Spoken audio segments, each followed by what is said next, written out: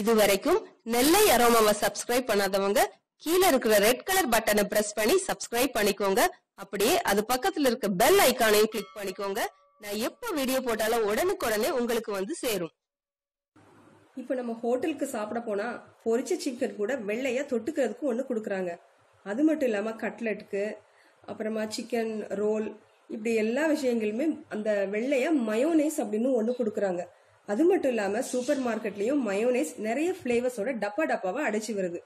அந்த மயோனைஸை வீட்டிலே நான் எப்படி செய்யலாம்னு சொல்லித்தரேன். முதல்ல அதுக்கு தேவையான பொருட்கள் ரெண்டு முட்டையோட மஞ்சள் கரு எண்ணெய் ஒரு கப் இந்த கப்புக்கு ஒரு கப் எண்ணெய் ஒரு எலுமிச்சம்பழத்தோட சாறு ஒரு ஸ்பூன் கடுகு கடுகு பொடி. இது கடுகை பொடி பண்ணி வச்சுக்கோங்க. அப்புறம் கொஞ்சமா உப்பு. எப்படி செய்யலாம்னு பார்க்கலாம். ஒரு மிக்ஸி ஜாரில் முதல்ல இந்த ம- முட்டையோட மஞ்சள் கருவை போட்டுக்கலாம். அதுக்கப்புறம் நம்ம எடுத்து வச்சிருந்த அந்த கடுகு பொடி. அதையும் போட்டுட்டு அந்த உப்பு உப்பு பார்த்து போட்டுக்கோங்க. அதிகமாக ஆயிடுச்சுன்னா நம்ம எடுக்க முடியாது. இதை மிக்சியில் அடிச்சிடலாம். மிக்சியோட சத்தம் அதிகமாக இருக்கிறதுனால நான் இதை வந்து எ- என்னோட வாய்ஸ் கேட்காது. இந்த ப்ரொசீஜரை நான் சொல்லிடுறேன். இப்போ நீங்கள் முட்டை போட்டு அந்த கடுகு பொடி போட்டு உப்பு போட்டு அடிச்சிட்டோம். இனிமேல் அதில் அது கூட லெமன் ஜூஸ் ஆட் பண்ணணும். அதுக்கப்புறமா கொஞ்சம் கொஞ்சமாக எண்ணெய் கொஞ்சம் கொஞ்சமாக எண்ணெய் சேர்த்து நம்ம நல்லா அடிக்கணும். பார்க்கலாம்.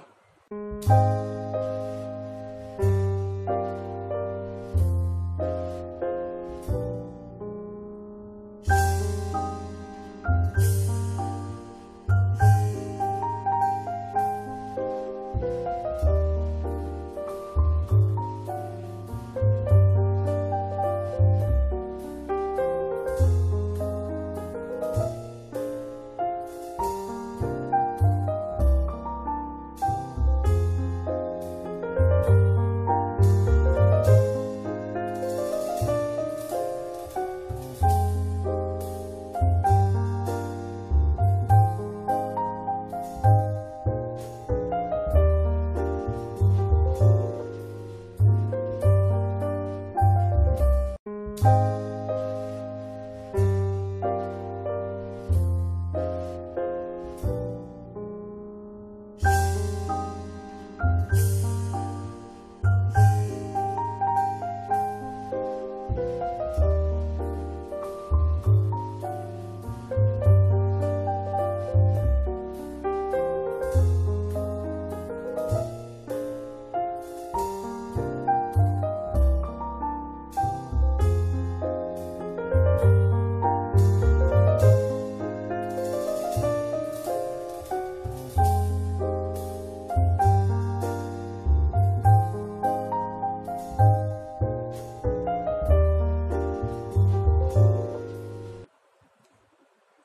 பாருங்க. இப்போ நம்ம மயோனேஸ் ரெடி ஆயிடுச்சு.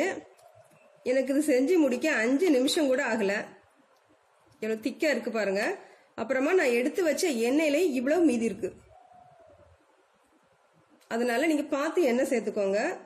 அப்புறமா lemon juice lemon juice juice வந்து நான் கொஞ்சமா தான் கொஞ்சமா சேர்த்துக்கோங்க. ஏன்னா நிறைய லெமன் ஜூஸ் சேர்த்திங் சேர்த்தீங்கன்னா அது புளிக்கும் புளிக்கும்.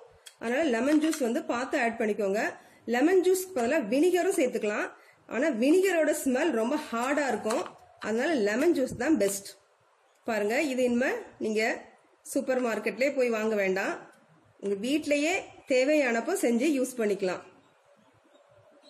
நம்ம மயோனைஸ் பார்த்தோம். இப்போ அடுத்து பார்க்கிறது கார்லிக் சாஸ் இது ரொம்ப டேஸ்டா இருக்கும். கார்லிக் ஃப்ளேவரோட கார்லிக் பிடிச்சவங்களுக்கு இது ரொம்ப நல்லா இருக்கும்.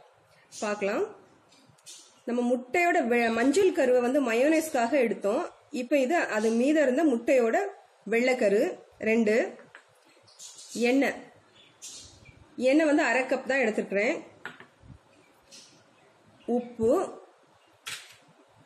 ஒரு சின்ன எலுமிச்சம்பழத்தோட சா- சாறு. வேணா ஒரு டீஸ்பூன் எடுத்துக்கோங்க.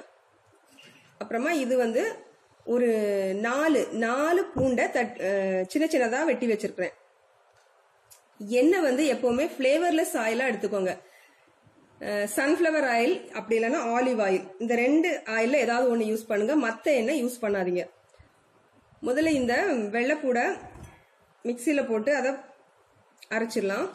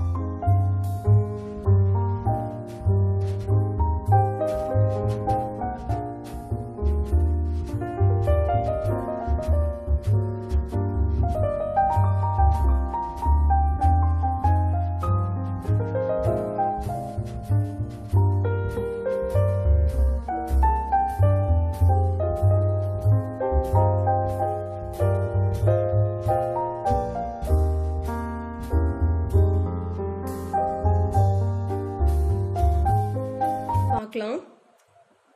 இப்போ நான் இதை ஒரு முப்பதுலேருந்து நாற்பது செகண்ட் விட்டு விட்டு அடிச்சிருப்பேன்.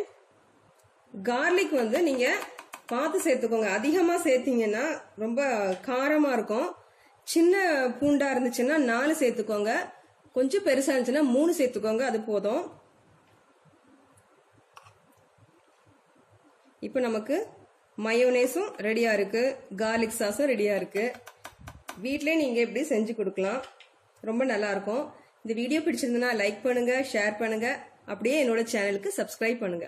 நன்றி. இது நல்ல எரோமா ஃப்ளேவர்ஸ் ஆஃப் கிச்சன்